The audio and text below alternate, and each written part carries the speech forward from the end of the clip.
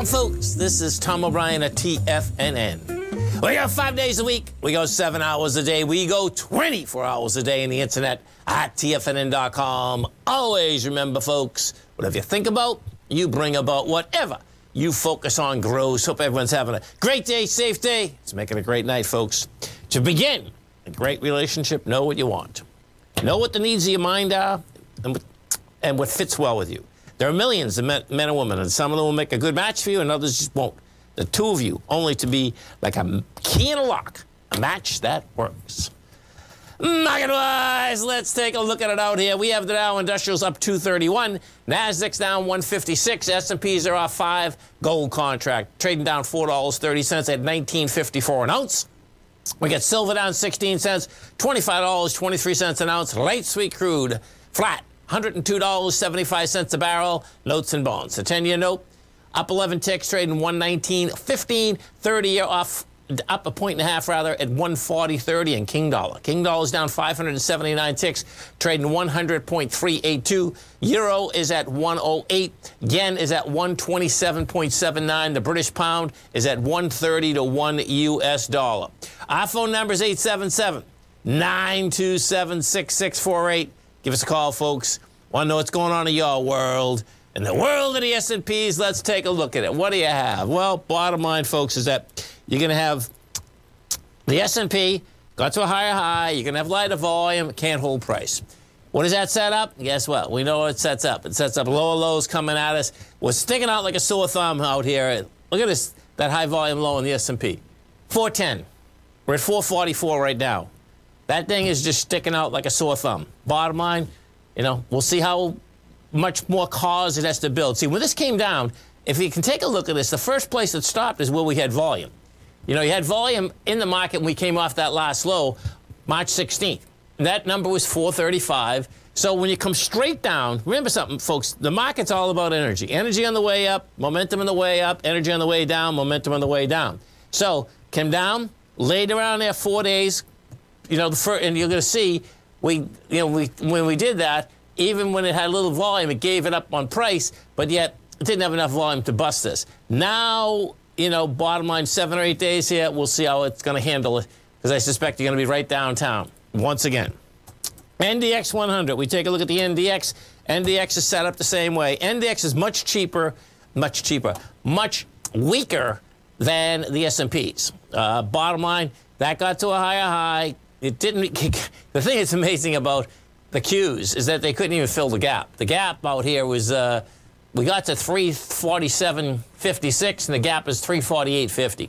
So bottom line, this is building cause for lower price. Gold, gold contract out here. What we had, gold, gold got slammed yesterday, but when it did get slammed, the bottom line, it had lighter volume than it was going into. And then we had out here this morning is that you had a nice contraction of volume. So what we did is this. So picture, we were going into volume of uh, 215 million, 215,000 rather. We did 180. That was yesterday. Today we're only at 128, and you get a rejection of price. That simultaneously, which is important, we get over and we take a look at the U.S. dollar.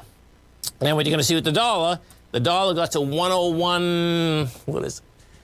Yeah, 101.03, and that pulled back. Now certainly when you take a look at this dollar just pulling back, that's not a big deal, man. It's only a, uh, 579 ticks.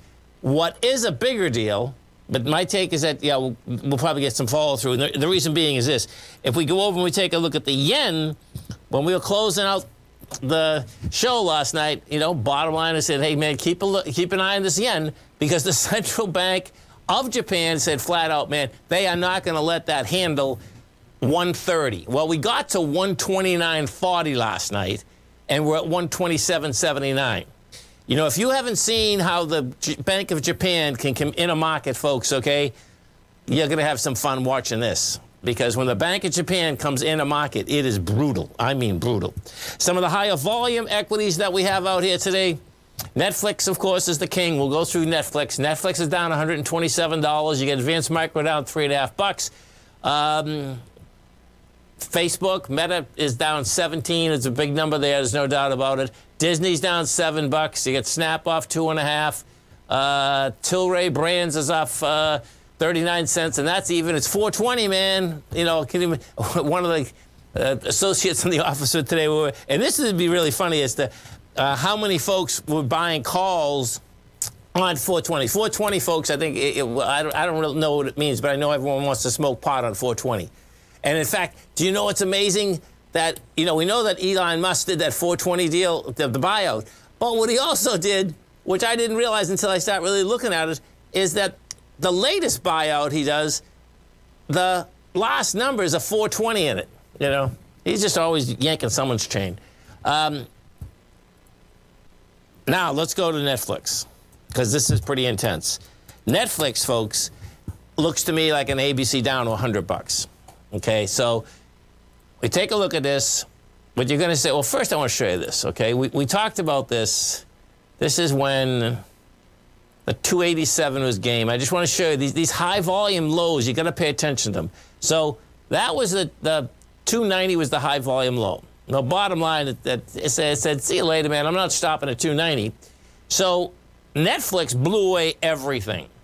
And we put this on a monthly. What you're going to see is that you're going to break a B point with volume. It's going to be a 300 A to B. Is it a 350? One second. I think it's 350. It's 350. I get. Yeah, it's 350. So you get 100 bucks. Hey, I know that sounds brutal, man. The bottom line is that that's how it's set up. So we'll see how this shakes out, man. I mean, it's, it's going to have the volume. You know, yeah, we needed 241 million on a monthly basis, and right now you're already at 190, and it's only halfway through the month. So we'll see how it shakes out. What's scary to me, I don't own Netflix, and this is something that you know. Listen, if you own it, you could buy puts. You could not today because the volume, the well, they're probably it's hard to tell. I, I have, I'll have to look at the premium. But, you know, in order to protect yourself, because see, see this down here? This is, this is like sick.